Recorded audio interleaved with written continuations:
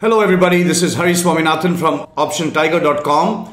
And today is Sunday, October 7th. And so the new course on swing trading uh, ideas that starts uh, today.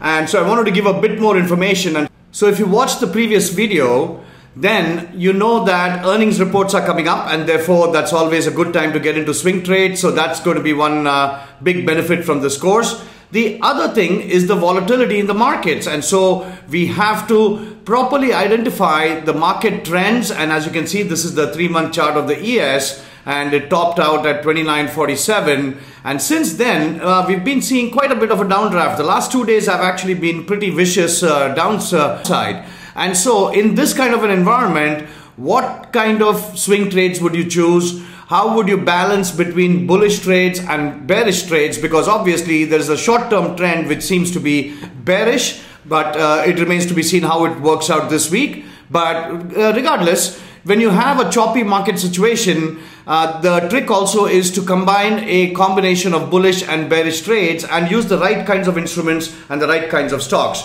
So these are the two big things that are going to come up uh, in the swing trading ideas uh, uh, course that starts tonight.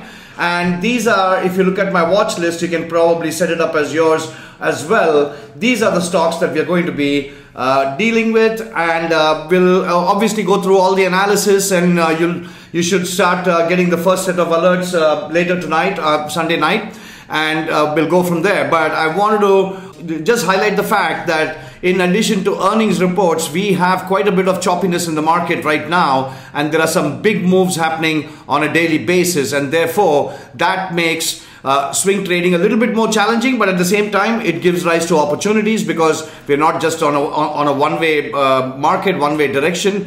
We are in a choppy kind of a direction, and therefore that does give rise to opportunities. So, for example, if you looked at uh, any of the stocks, look at Amazon, it's at 1889. Now, we know that Amazon has crossed 2000. It, it was at 2050. But now, do you get in now, or what's the, and it's been going down for the last few days. So, you know, how do we deal with these kinds of situations? I think most stocks are in that category. If you look at Google as well, quite a bit of choppiness there. Apple was pretty good, but last two days, once again, it's been showing weakness. So there's a lot of stocks like this, and some of them are not very well correlated to the S&P. So those are the kinds of stocks we'll be trying to pick to take some kind of either a neutral or a bearish uh, stance in case the markets go down further.